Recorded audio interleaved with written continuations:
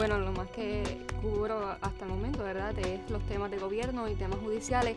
Sin embargo, cada historia eh, es interesante y, lo más importante es aprender de ella y adentrarse en ella. Así que yo pienso que cada historia es, es buena para cubrir.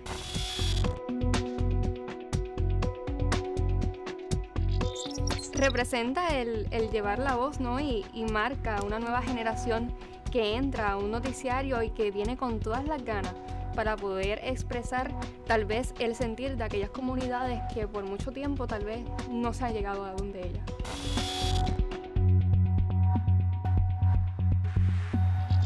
Me visualizo estudiando Derecho, es algo que es una meta que tengo trazada y que me encantaría cumplir.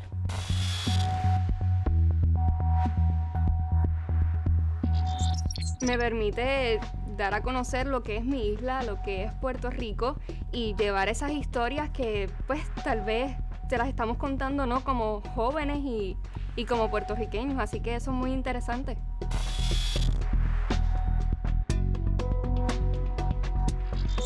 Todas las personas tenemos algo que nos distingue, ¿no? Pero yo creo que desde pequeña me he esforzado mucho para poder ir escalando y, ir llegando a donde, a donde deseo. Así que yo creo que la perseverancia es algo que me distingue.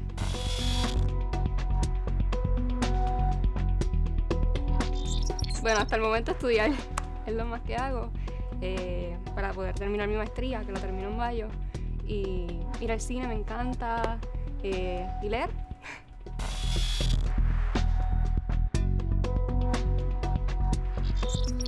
Destacarme dentro de los medios de comunicación y poder llevar la voz de las comunidades que tanto lo necesitan en Puerto Rico.